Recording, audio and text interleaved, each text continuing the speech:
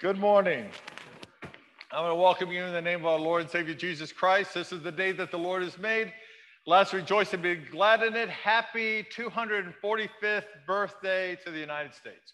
Today is the 245th birthday uh, anniversary of, of the signing of the Declaration of Independence. So I want to welcome each and every one of you as we rejoice that we've been a nation that have ha- has had uh, freedom of religion for those 245 years and hopefully 245 more. So I want to welcome you. Uh, today is Communion Sunday, so we rejoice in that. And so, as you can see, it's set up when we have communion, and we've done this before. Uh, you'll come into the center aisle, uh, take as many of the uh, little cups as you can for your group or individually.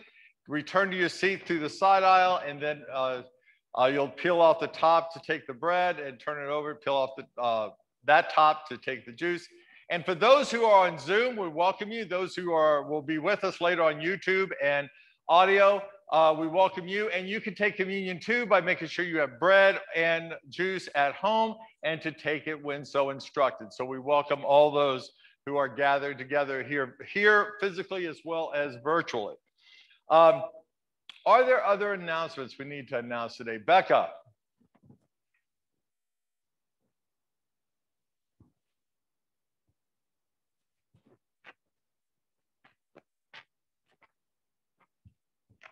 Good morning. Um, so just a couple of summer's best announcements real quick. We are still looking for people to provide lunches um, and dinners. Um, lunches would be for eight people and you just have to drop it off. Like you don't have to stay or anything. Um, dinner, it's a little more up to you how you would like to do that. Um, so if you have any questions, see me. And then also we're still looking for one portable fire pit thing. Um, we just need it for one day. It's August 4th, I believe. Um, so if you have one and you would love to let us borrow it, we would love to borrow it. And we're still looking um, to house one senior counselor. Um, he has his own transportation, so you wouldn't have to worry about that. Um, so if you are feeling led to do that, please let me know. Thank you, Becca. A couple other announcements. Uh, one, you can look in your bulletin on lesson one. It says Romans 8, 18 through 27, but that actually, it will be 2 Samuel 5, 1 through 10. So I'm sorry for that mistake. As well as I called an audible this morning uh, because I want to replace How Great Thou Art, hymn number four, with hymn number 349 uh, trust and obey. So if you'll, we'll have to go old school. We'll actually have to use the hymnals. so you might want to mark that. I mean, again, it's like I don't even know how to use a hymnal anymore. So, uh, but it's hymn number 349. Trust and obey will be the last hymn. Great. Just an update on the shower. Uh, if anybody would like to come, today's the last day to RSVP. And you have been so generous. If you take a peek in the office, you'll see there's so many uh, beautiful uh, gifts in there. I've been in touch with Raina. She is a lovely, lovely young woman of God. She is just so thankful and appreciative of what everybody is doing. She's actually from Jamaica and she's only been here for two years. So we're getting to really build a relationship with her, and it's been a blessing so far, and we haven't even had the shower yet. So thank you all so much for your uh, support and your generosity. And uh, next week we'll have a report. Thanks. Thank you, Donna. Any other announcements? We do have, okay, go ahead. Was this about Tina? No, it's not okay. about Tina, okay. but thank you all for your prayers for her. I'm really touched by it. And believe me when I tell you, they are working. But I got this note from Kathy Letteber, who, who is uh, um, Maggie Williams' mom. And uh, I wanted to read this to you because it's, it's really encouraging. She said, I enjoyed the week I spent with the women of Lebanon Presbyterian Church. I attended women's lunches in the past, um, children's Bible uh, schools. It was so much fun for me with all of you. I miss the church's women's group. I have one in the Keys, but you guys are much more fun. I haven't laughed like this in a long time. Thank you. Please tell all how much fun I had. God bless. I thought you might enjoy that. That's that's wonderful. Uh, we do want to have joys and concerns, as you know, as uh, Kate just mentioned, is that Tina says says um, uh, had an accident and broke both legs, her ribs, uh, uh, got out of surgery okay, but she has a long road of recovery, so we definitely want to keep her in our prayers. Uh, Sylvia Say will be having cataract surgery uh, next this coming week, I believe, and she'll be out next the following week. She'll be out for two weeks with cataract surgery. Okay, uh, so what other joys and concerns do we have? Yes, Andy in the back.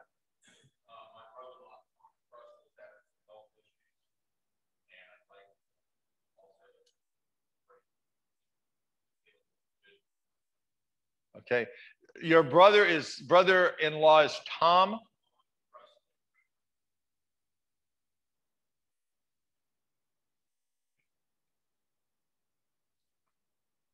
Okay. And healing for the divisions in our country, right? Super. Any others? Yes, Bob.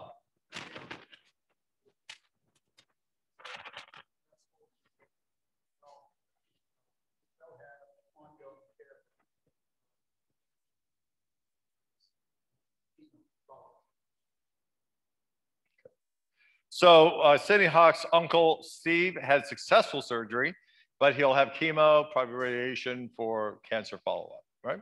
Okay. Anyone else? Yes, Doreen.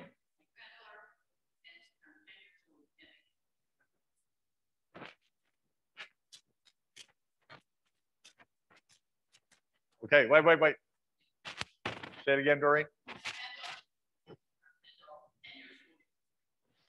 Okay, Emmy turned 10. Okay. Emmy turned 10. Okay, uh, Kathy.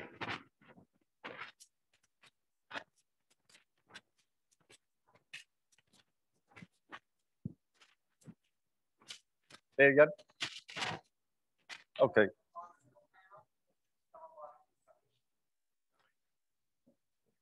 Heaven, okay.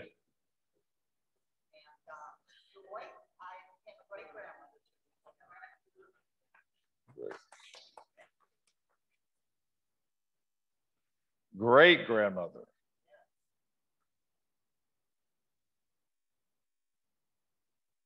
And the baby's name?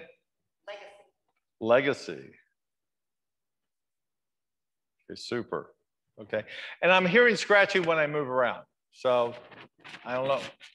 Move, move. Hey, it's not my beard. It's not my beard, Celia. That sounds obnoxious,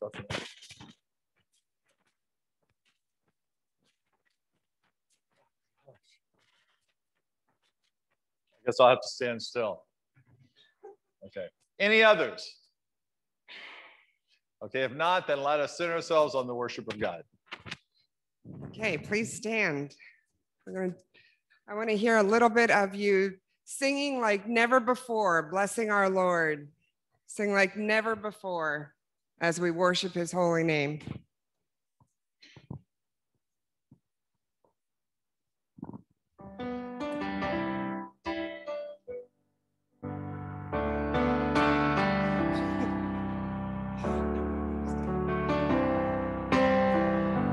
Bless the Lord, oh my soul, oh, oh, oh my soul. Worship his holy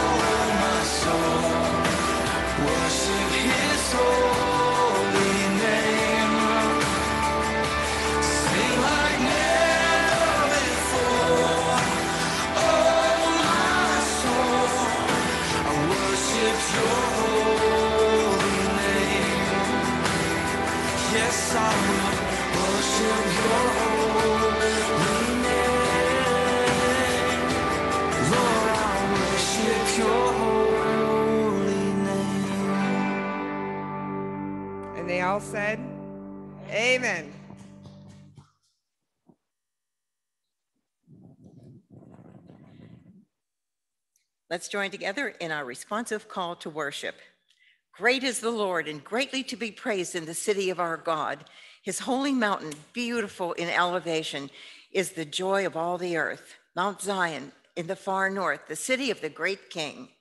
Within her citadel, God has made himself known as a fortress. But behold, the kings assembled. They came on together. As soon as they saw it, they were astounded. They were in panic. They took to flight. Trembling took hold of them there, anguish as, as of a woman in labor. By the east wind, you shattered the ships of Tarshish. As we have heard, so we have seen in the city of the Lord of hosts, in the city of our God, which God will establish forever. Let us worship God.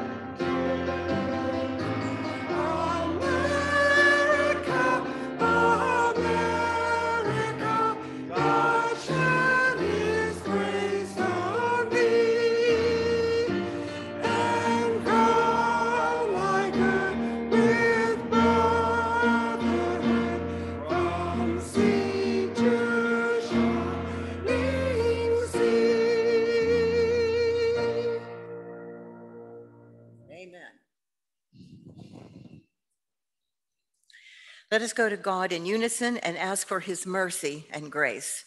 O breath of God, we rejoice that you sent the power of the Holy Spirit into our lives. And we celebrate today at Pentecost and in remembrance of your Spirit descending onto the church.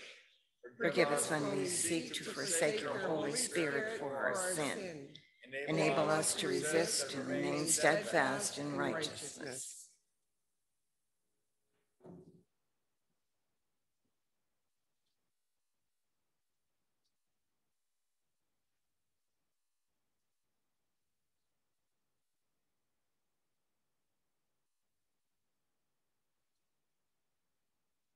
In the name of Jesus Christ, amen.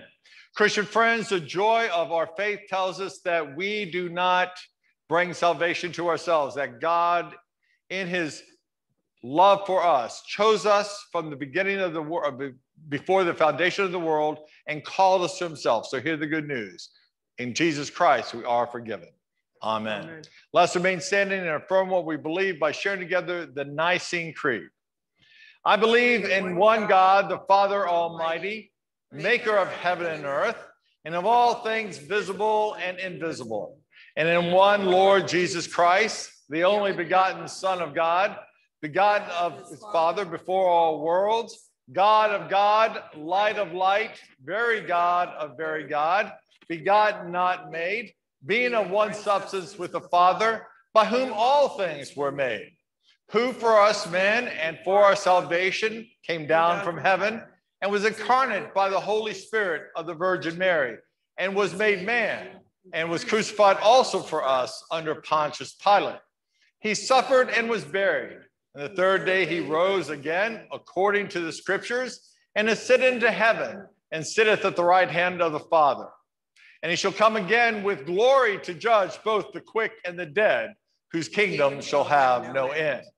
And I believe in the Holy Spirit, the Lord and giver of life, who proceedeth from the Father and the Son, who with the Father and the Son together is worshiped and glorified, who spoke by the prophets. And I believe in one Catholic and apostolic church. I acknowledge one baptism for the remission of sins, and I look for the resurrection of the dead and the life of the world to come. Amen. Please be seated.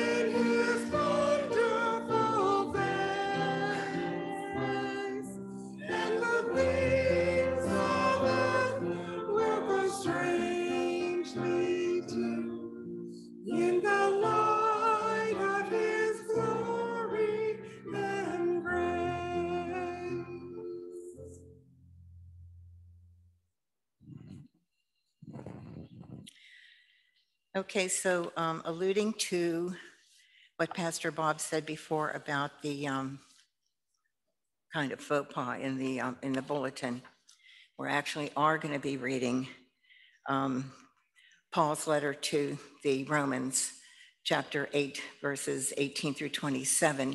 Um, there are no slides for that, but um, Jesus spoke without slides and he did a bang up job.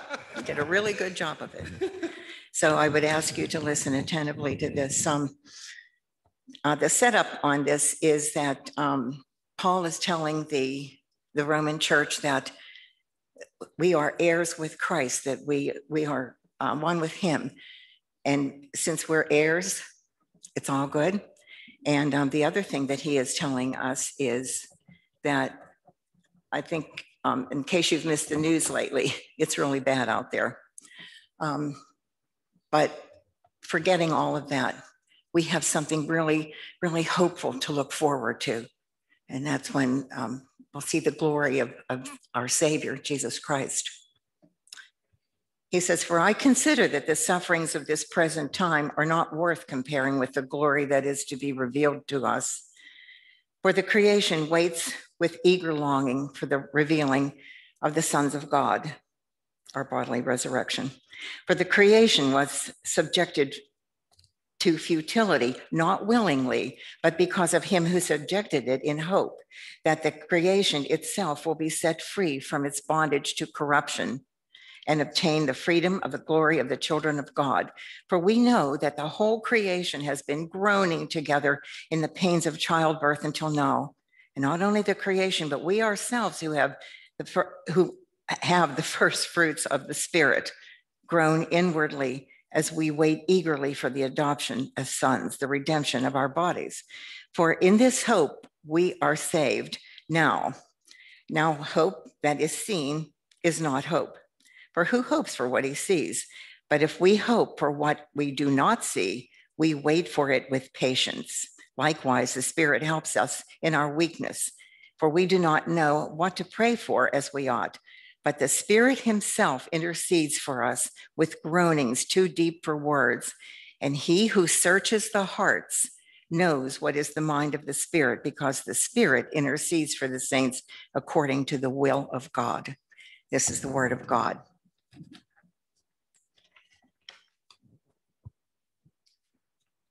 So it is Independence Day today. Um, and I, I, wanted to, as I was thinking about what, what video I wanted to show today, um, I was thinking about how, um, you know, we do, we still live in a great country.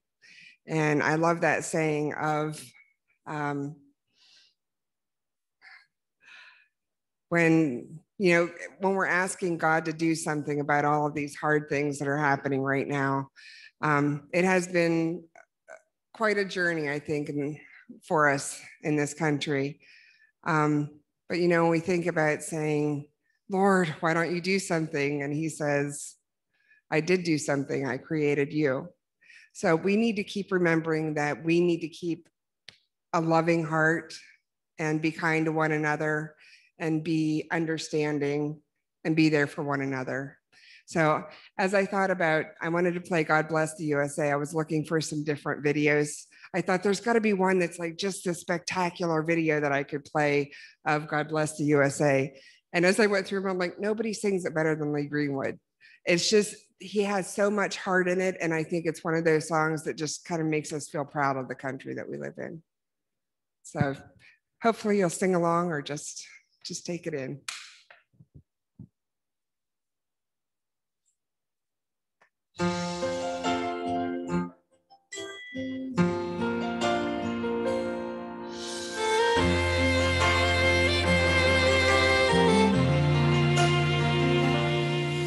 If tomorrow all the things were gone, I'd work for all my life, and I had to start again with just my children and my wife. I thank my lucky stars to be living here today. Cause the flag still stands for freedom, and they can't take that away. I'm proud to be an American, where at least I know I'm free. And I won't forget the men who died, who gave that right to me, and I gladly stand up next to you and defend her still today. Cause there ain't no doubt I love this land. God bless the USA.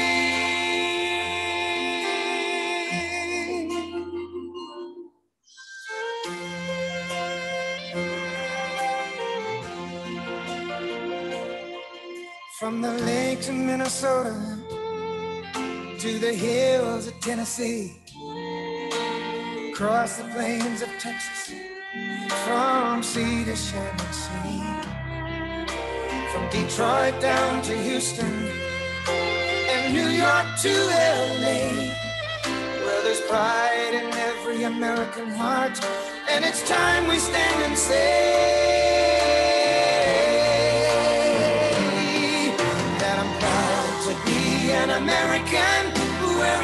Least I know I'm free. And I won't forget the men who died, who gave that right to me. And I gladly stand up next to you and defend her still today. Cause there ain't no doubt I love this land. God bless the USA.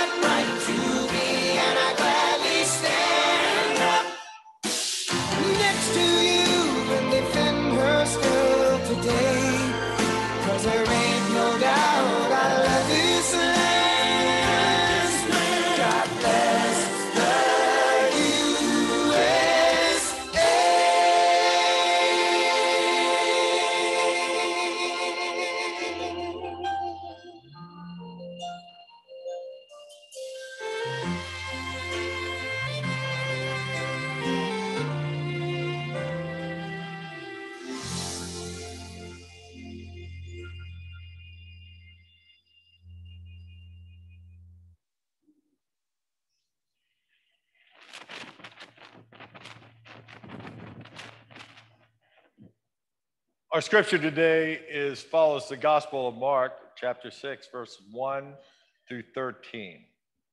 There's two sections in here. There's rejection and then there is outreach. So let's look at the look at what happens. Jesus went away from there and came to his hometown, and his disciples followed him. And on the Sabbath, he began to teach in the synagogue, and many who heard him were astonished, saying, Where did this man get these things? What is the wisdom given? What is the wisdom given to him? How are such mighty works done by his hands? Is this is not this the carpenter, the son of Mary, and the brother of James and Joseph and Judas and Simon? And are not his sisters here with us? And they took offense at him. And Jesus said to them, A prophet is not without honor except in his hometown and among his relatives and in his own household. And he could do no mighty work there except that he laid his hands on a few sick people and healed them. And he marveled because of their unbelief. And he went out about among the villages teaching. And he called the 12 and began to send them out two by two and gave them authority over the unclean spirits. He charged them to take nothing for their journey except a staff, no bread, no bag, no money in their belts, but to wear sandals and not and not put on two tunics. And he said to them, whenever you enter a house, stay there until you depart from there. And if any place will not receive you, and they will not listen to you, when you leave, shake off the dust that is on your feet as a testimony against them. So they went out and proclaimed that people should repent, and they cast out many demons, and they anointed with oil many who were sick and healed them.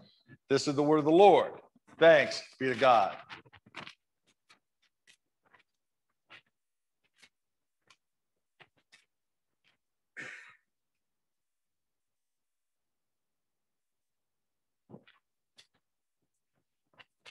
When we look at this path, we initially ask, have to ask our question uh, of ourselves Jesus was not what the people expected. What do we expect?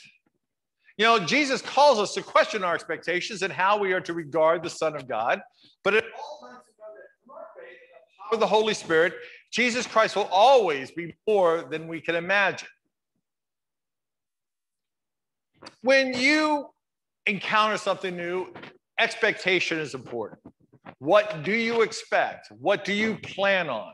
Even when you come to church, what do you expect? Do you expect feel good message? Do you expect a, a message that confronts you of your sin? Do you expect what? And what do you expect of Christ? You know, now there's expectations and then there's reality. And we all know the difference. Or do we? You know, the expectation of day one of COVID is this is not going to last long. On day 365, it was a little bit different. I think that's cute. I think that's real cute. But it is reality is that what we expected when COVID started to what we expected when COVID has still not ended, but we're in this much better place. Well, what are our expectations for the following year? Shakespeare would say expectation is the root of all heartache. Because when we have expectations, if we firmly say this is what will be, reality can be something different. The expectation of the Jews were that Jesus or the Son of God would come back in power and might. And instead, he came as an infant to poor parents who did not even have money to sleep in the inn, but gave birth in a stable. But the question then comes if God meets all of our expectations, we're really likely worshiping ourselves. God has a plan. The question is, does is God meeting our plan? It's are we understanding God's plan? And God being God and we not being God means that God's plan will always be more than we could possibly even imagine. And do we understand that? Do we accept that? Do we affirm that? Or do we still rely on our own expectations? Ephesians 3:20 says he is able to do immeasurably more than all we ask or imagine. That gives me comfort. Because if God met my expectations, then my limited ability to think would limit God. But God is much more than I could even imagine. And the power of Jesus Christ, the presence of Jesus Christ in the world is much more than I can imagine as is the power of the Holy Spirit. So let's look at what scripture says. Excuse me. So Jesus had already been doing a bunch of stuff. But he left where he was and he went to his hometown accompanied by his disciples. Now, Thomas Wolfe would say you can never go home again. He wrote a book to that effect. Don't bother reading it. It's really long, it's really boring. Okay. But some would say you can always come home, but you can never go back. Because home is where you grew up, and as an adult, you can't go back and have the same sort of experience. I know this one person, she uh, has fantasized about what home is and all the fun times as kids, and she tries to go back home to recapture that fun, and she's always disappointed because she's no longer a kid. So you can't, you can always go home, but you can't ever go back to what it was that you think it was. So Jesus goes back home to the place where he grew up. And on the, when the Sabbath came, he went to the synagogue to teach, and many who heard him were amazed. Now, again, that word amazed is important. And they asked, Where did this man get these things? They ask, What's this wisdom that has been given him that he even does miracles? It's interesting when you see someone grow up in the church, there's sort of an expectation of who they are and who they're going to become. And there's a fondness for it. And there's nothing wrong with that. But then there's also it comes a time when they might challenge you, where that fondness might turn to something else. Are they meeting expectations? Are they exceeding expectations? Are they filling our expectations?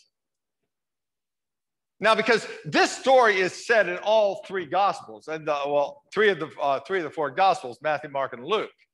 And look at uh, the message Jesus preaches, or the, the scripture he uh, reads is from Isaiah, which says, The Spirit of the Lord is on me because he has anointed me to preach, preach good news to the poor. He has sent me to proclaim freedom to the prisoners and recovery of sight for the blind, to release the oppressed, to proclaim the year of the Lord's favor. Well, that's all great. Then he becomes a little more bold and challenges them Are they doing this? So now they had to come to the question wait, wait a minute, what do we got to make of this guy? Because he was saying this fun stuff, and now he's challenging us, he's pushing us. He's saying, You're not living up to what I've called you to do. And their response is, Is not this the carpenter, the son of Mary, and the brother of James, and Joseph, and Judas, and Simon? And are not his sisters here among us? And they took offense at him and were hurt. That is, they disapproved of him, and it hindered them from acknowledging his authority, and they were caused to stumble and fall. Now we see what follows this. and other passages of in other the gospels, they are taking him to the top of this cliff and are going to throw him off. Here, not so violent, but they are not liking what he is sharing.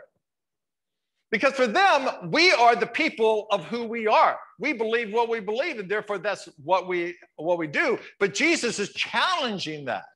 And again, I've said this many times when you are faced, when you have this belief in yourself and you're faced with uh, the truth, you have a choice. I'm going to change my understanding of reality. I'm going to change my perception closer to what is real, or I'm going to reject it. And they chose to reject it. Don't bother me with the truth. My mind is made up. Now we see earlier in Mark, Jesus' own family called him to question. They heard about this and went to take charge of him, for they said, He is out of his mind. That's a loving thing for a family to say to you. Hey, how you doing? You're out of your mind. You know, they they resorted to this name calling. You're not doing what we're doing. You're embarrassing us. You're saying things that we can't understand. You're acting beyond our expectations. What why aren't you building stuff? You're a carpenter. In some ways, this was family bullying. They were just pushing and pushing and pushing, saying, You're not what we want. And that is hurtful even today's world. You know, we have this uh, words matter. You know, in the psychological field, you don't say someone's uh, crazy or a lunatic or psycho, even bipolar or schizophrenic. People with mental health conditions, a person living with schizophrenia or bipolar disorder. And again, it can go on and on about preferred language instead of the language we use. And we, Andy was talking about the divisions in our country. What language are we using that is offensive versus language that is correct? That's things we have to ask. Well, here, they're, the, Jesus's parents are Jesus's family saying he's out of his mind. And Jesus' response is a prophet is not without honor except in his hometown and among his relatives and, a, and in his own household. And this is expansive. It's not just among his mom and his brothers and his sisters. It's not just among the people in Nazareth. It's not just among the people of Israel. It is among all those who claim to be Jewish. He is not welcome because he is challenging us beyond our ability to accept. What is honor? Prophets are given honor but more often after the fact, because when prophets are saying what they're saying, they're challenging the status quo. Prophets don't say, Good job, everybody. Prophets are usually saying, Bad job, most of you. And there's also this whole concept of familiarity breeds contempt. Have you ever heard that? Aesop said it.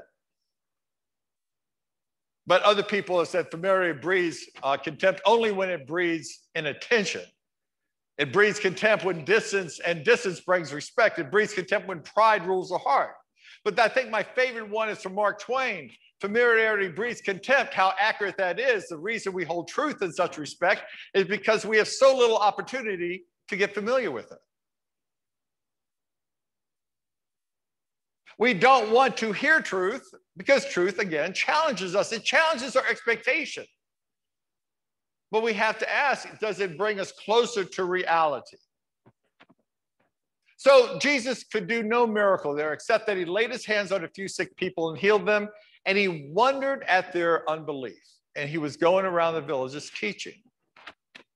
Here, wonderment is not a word that is like saying, like, oh, I'm in wonderment. It's like, I'm in wonderment. It's not like I'm in wonderment at how great things are happening. It's I'm in wonderment at how bad things are. This is not a good thing. This type of wonderment is not. The expectation would have been they would accept what he is doing, but they did not. Now, this is important to know. Could Jesus have done everything he wanted to do? Obviously. Jesus is not limited by their disbelief. But remember last week we talked about the three things that miracles center around? One where God and suffering come together, that compassion. Secondly, when it reveals the Son of God. And third, when it gives a glimpse to the kingdom to come. They had chosen their kingdom, the kingdom of this world, the kingdom of dust and sand and death. They refused to hear the Son of God, even when it was revealed. And they were showing contempt as opposed to showing themselves. So it wasn't that Jesus could not, more along the line, Jesus would not. Now, the story could end there, and we could say, wow, this was uh, unpleasant. But Jesus has a plan, just as God has a plan, that he's going to love the people, teach the people, and they are going to learn. And so, what does he do? And this is the shift, and it's an incredible shift. It's a powerful shift. That Jesus does not say, Well, my expectation was this, the reality is that, so I give up. No, he said, I am going to enact reality to meet the expectations of my father. So he called to him the 12 and began to send them out for, uh, by two and two and gave them power over unclean spirits. Again, he has given them power. He has the power. He could exercise that power. He chooses not to, but to give it to his disciples so that they can. To begin expanding the reality of God's kingdom so that people who are willing to believe can believe. And he sends them out two by two. There's power in that understanding, two by two, that reinforcement. It says in Ecclesiastes, a three strand cord is not easily broken. Well, if you have two people going out and Christ, the Holy Spirit, God is that third strand, that is what gives it strength and power. And so they go out to work together to do God's will, to do what Jesus says. Go out and heal. Go out and uh, cast out unclean spirits. Go out and tell people this is the time to repent. Back to when he says at the very beginning of Mark, the kingdom of God is at hand. Repent. And that is what they do. They decide they're going to play with those who want to play.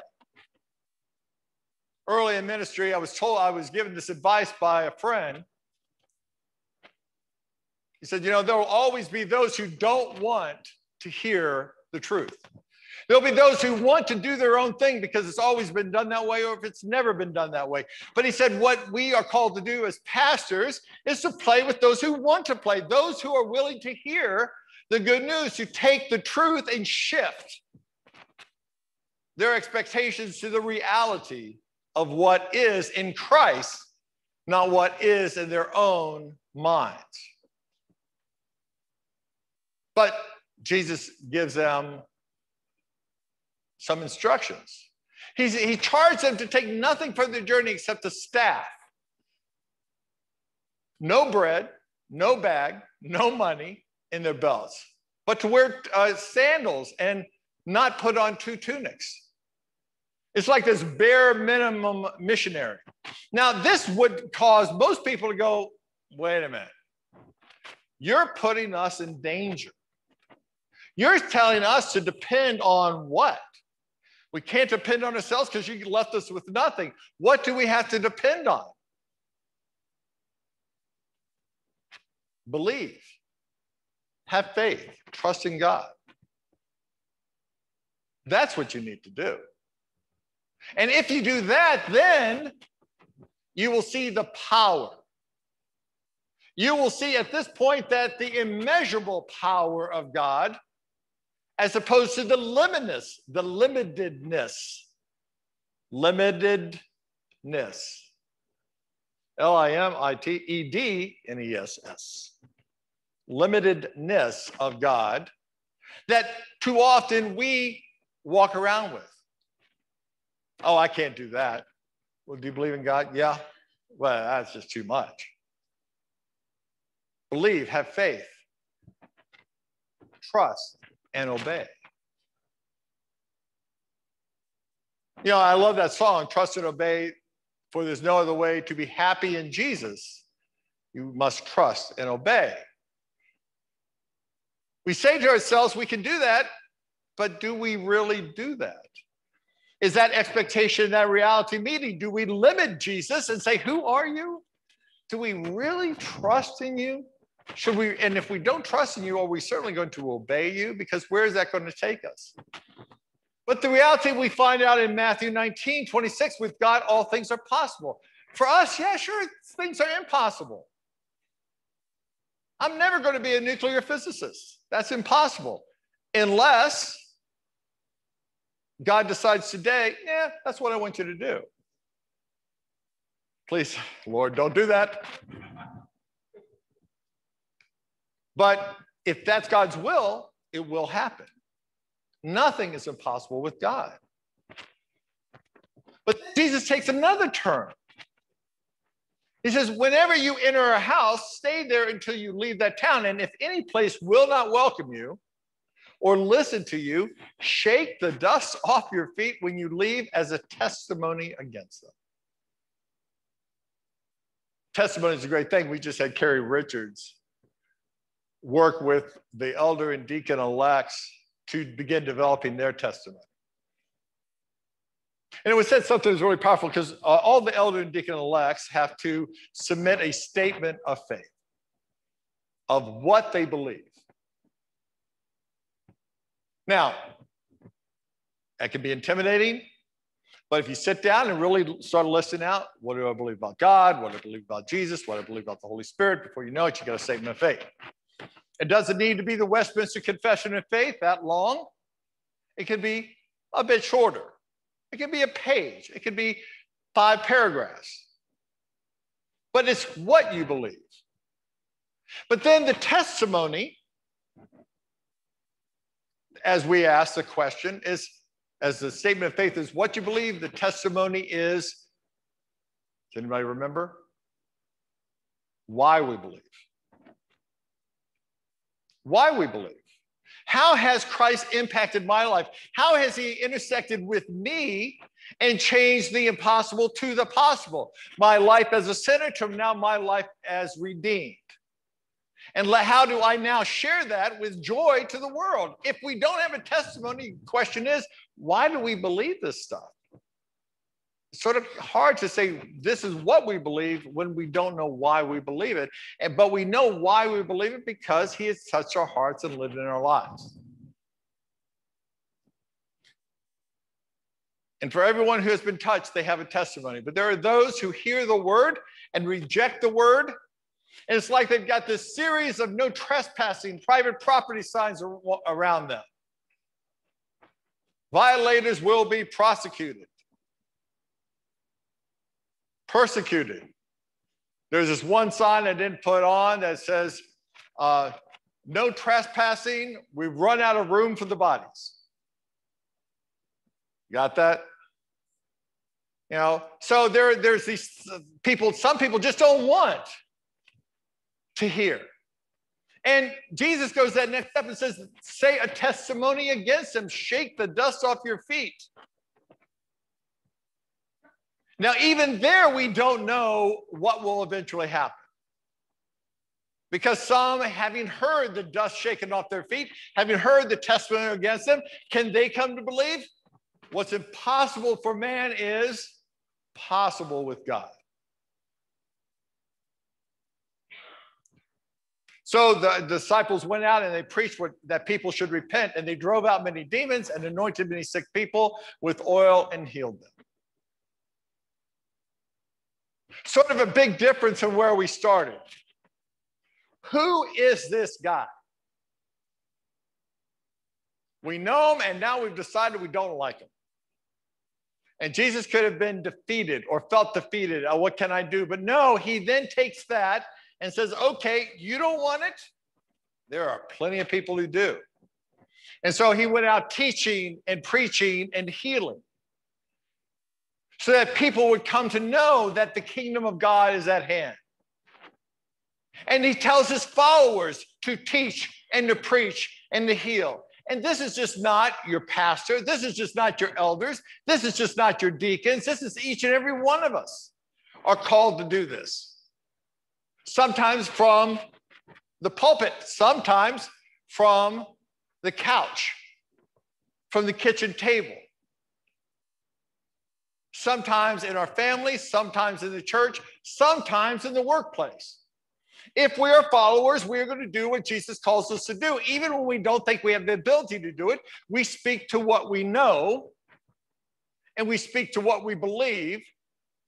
And the reality is, people will come. Because this is the testimony that Jesus has for us that God has given us eternal life, and this life is in His Son. This is God's testimony to us. So there, therefore, having been justified by faith, we have peace with God through our Lord Jesus Christ. And in that peace, we can trust, we can obey, we can follow, we can believe, we can do all that God has called us to do with joy, knowing that our job is not to convert, our job is to obey. It is God's job through the power of the Holy Spirit to change hearts.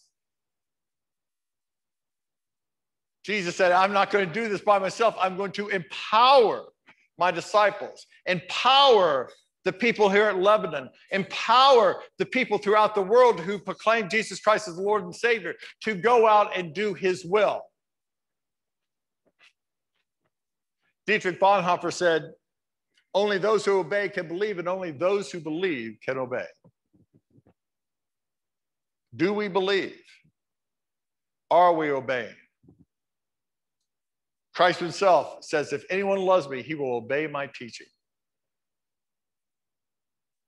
This is our calling. This is the expectation and the reality where they come together and they meet perfectly.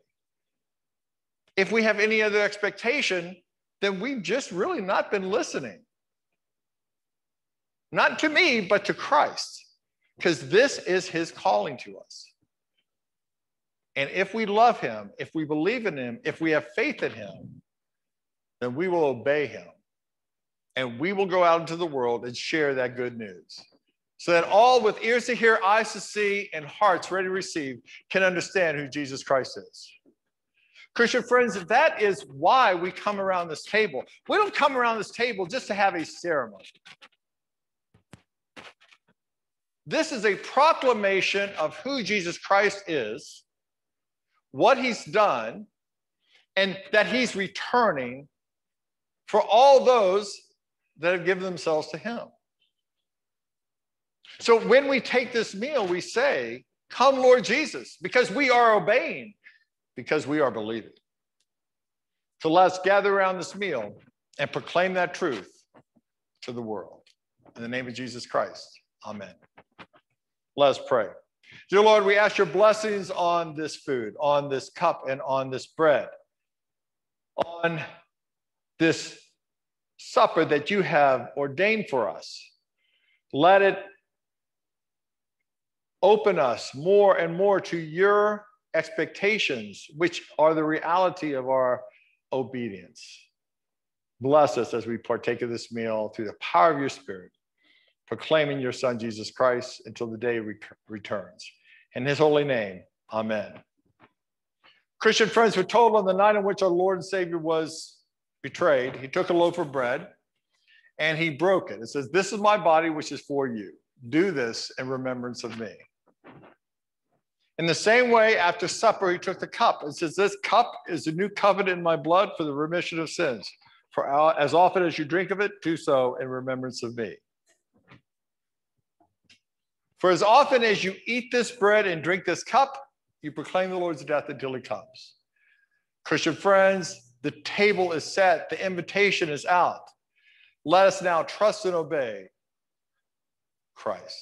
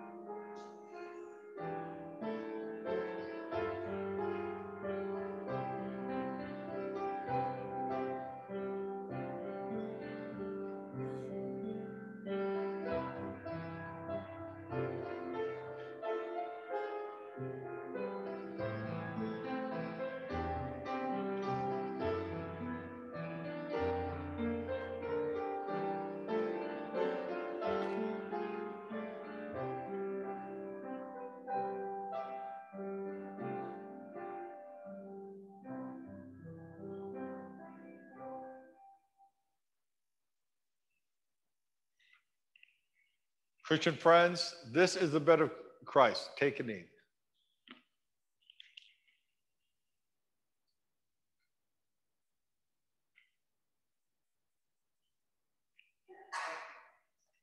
This is the blood of Christ. Take and drink.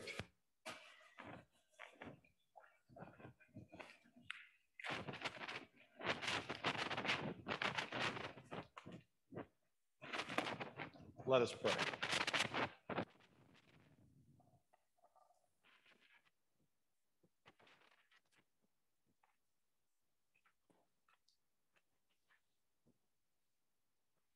Father, we come to you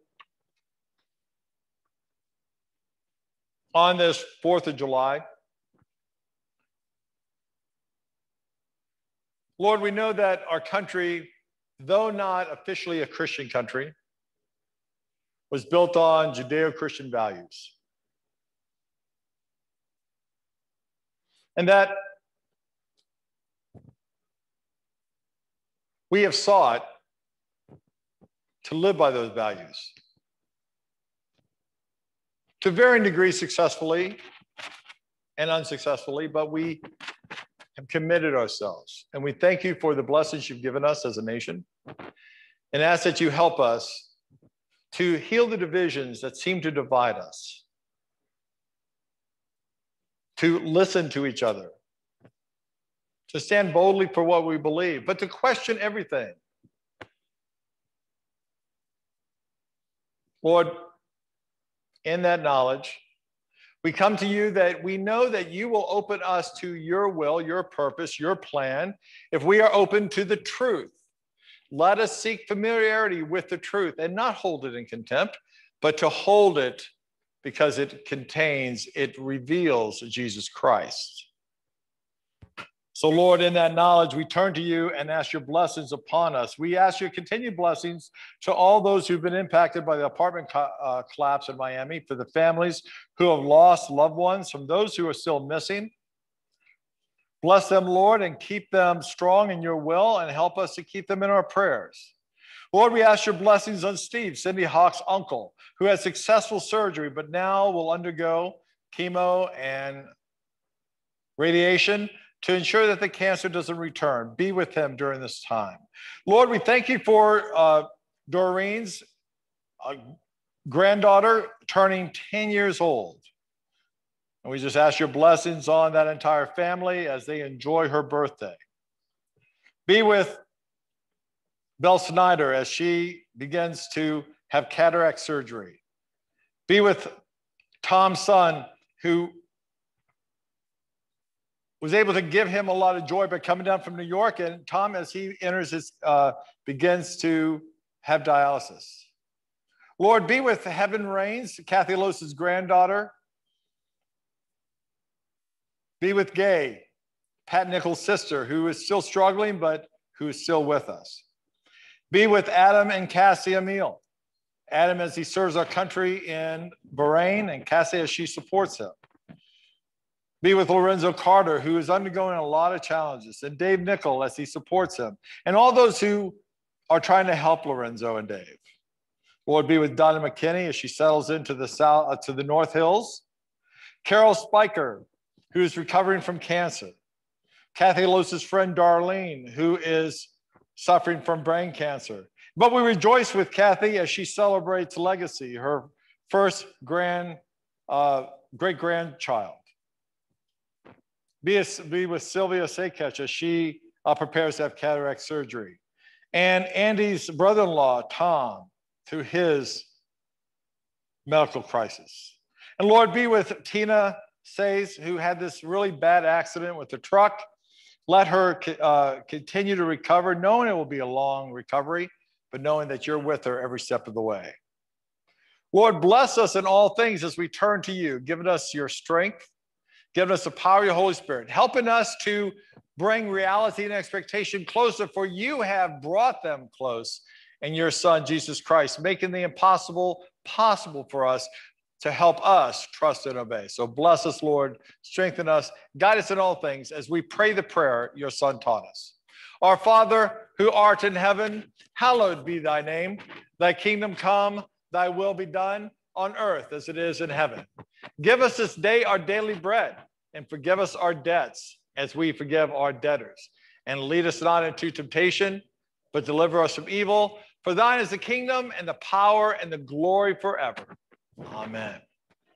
Christian friends, we have offering baskets in the back as you come in or as you leave. We would appreciate the, what God is calling you to give. And those who are on YouTube and those who are on Zoom and audio, we invite you to send your offerings in. We seek to use them to proclaim your word, to share the good news of Jesus Christ. Let us pray. Dear Lord, we thank you for the offerings that you do provide for this church and for your kingdom throughout the world. Lord, we know people prayerfully, faithfully, sacrificially give themselves to you in time, talent, and financial resources. Help us to use the gifts you have given that you that people have brought here to use to magnify your name, to glorify who you are, to help each and every one of us to trust and obey. Guide us, Lord, be with us, and give us your strength and your power each and every day through your Son, Jesus Christ, who is now and forever Lord. In his holy name, amen.